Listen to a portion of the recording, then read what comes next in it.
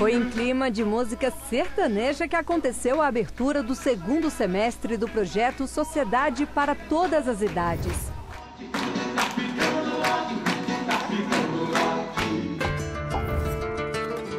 O Grupo Obra Social Santa Isabel teve uma tarde repleta de atividades. Eles puderam conhecer o tribunal, assistiram palestras e tiveram uma pausa para um lanchinho e um bate-papo. Esse grupo já está na quinta palestra, é a quinta visita deles aqui ao STJ.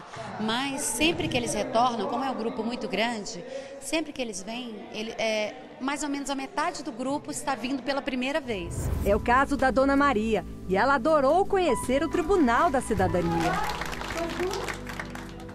tinha entrado aqui, fiquei impressionada e também não esperava ser tão bem recebido como a gente foi. Já a Alverinda está visitando o Superior Tribunal de Justiça pela segunda vez. Quando eu venho aqui, eu me sinto bem demais, porque é muito bem, muito bem recebido. Amei aqui. E é muito bom. Para fechar com chave de ouro, o servidor do STJ Washington Dourado recitou poemas para os visitantes.